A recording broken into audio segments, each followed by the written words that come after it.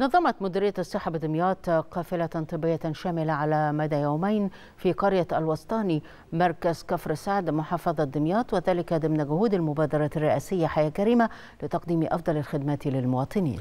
تضمنت القافلة عيادات متنقلة بكافة التخصصات الطبية ومعملا وصيدلية لصرف الأدوية بالمجان وذلك وسط إجراءات وقائية واحترازية مشددة لمواجهة فيروس كورونا. القافلة الطبية من وزارة الصحة هنا بتقدم خدماتها من خلال 12 عيادة تخصصية. فيها معظم التخصصات الطبية زائد عيادة تنظيم الأسرة. القافلة بتشمل معمل تحاليل طبية متكامل. القافلة بتشمل على جهاز أشعة إكس راي للكشف على العظام والصدر. زائد إن قافلة فيها أطباء استشاريين من أكفأ أطباء وزارة الصحة والسكان.